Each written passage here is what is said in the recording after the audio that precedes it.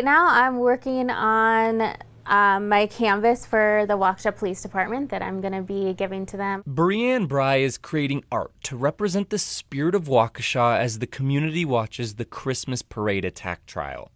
Along with her painting, she made these Waukesha Strong adhesives that can be ironed on to shirts, hats, and bags. I really wanted to try to show the positive side of Waukesha. It's her way of contributing to the community. My personal life, I'm not able to go to everything to show my support. She has thoracic outlet syndrome. That means she can't hold her hands or arms up for very long, so she spends a lot of time in her home you feel like you're holding a feather and you raise it up and then all of a sudden that feather becomes 50 pounds and it just weighs you down.